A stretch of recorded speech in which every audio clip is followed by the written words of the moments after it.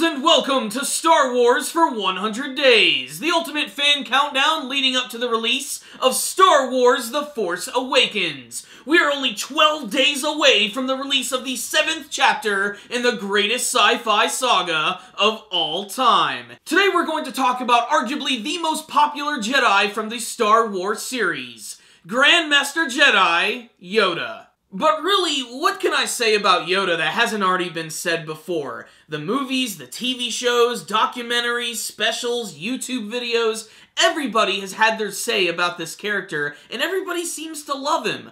But why is that? I think it's because he represents hope. He sort of encapsulates everything about it. He's the ultimate good in the Star Wars universe, and he's always trying to teach that to the younger generations. And yet, at the same time, he's a first-class warrior, one of the greatest in the entire Jedi Order, if not the greatest. Wise, cryptic, grandfatherly. Yoda is one of the greatest characters from the Star Wars universe, and it's amazing how they originally brought this character to life thanks, of course, to Frank Oz, one of the greatest actors, filmmakers, and puppeteers of our time. He's been a puppeteer for a lot of famous characters. Miss Piggy, Fozzie Bear, freaking Cookie Monster, Bert, Grover, and once you know that fact, you can definitely hear that when you listen to Yoda, but Yoda was a lot different than a Muppet. He was actually more of an actual living character. They truly brought this thing to life in the original Empire Strikes Back and his brief scenes in Return of the Jedi, and still, even the CGI younger version of Yoda is still just as amazing, and it's perfect that they had Frank Oz return to that role because he's the only one who really could have done that.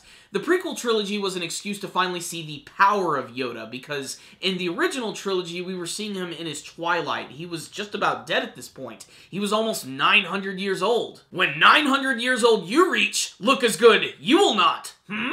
It's hard to pinpoint what my favorite Yoda moment from the series is because, you know, you get kind of conflicted. There's those amazing training moments from Empire Strikes Back, which are all pretty fantastic. Just the introduction of the character, because he's really goofy at first. It almost seems like he's basically lost his marbles. But honestly, he's just as mystic and crazy as ever, and we actually get to see the true side come out later on as he's training Luke Skywalker. And then, of course, you have the prequel trilogies, where he's just really badass. Like, there's so many great scenes with the character. If it's not him having his first battle against Count Dooku, which First time I saw that in theaters, this was like the day the movie came out, and they didn't show any of that in the trailers. So the minute he pulls out his lightsaber, whole crowd starts going insane. It was one of the most amazing movie experiences of my life. Episode 3 got even crazier. His battle with Darth Sidious was absolutely amazing. Unlike any other battle that we've actually seen from any of the movies, it was a perfect combination of actually using lightsabers and using the Force, especially the way that Darth Sidious would actually throw the different seats around and Yoda would stop them, spin them, and make them even more powerful. My favorite scene from that movie, though, without a doubt, is when he takes his lightsaber and throws it at the clone trooper. It gets stuck in his chest and then he jumps on top of it to pull the lightsaber out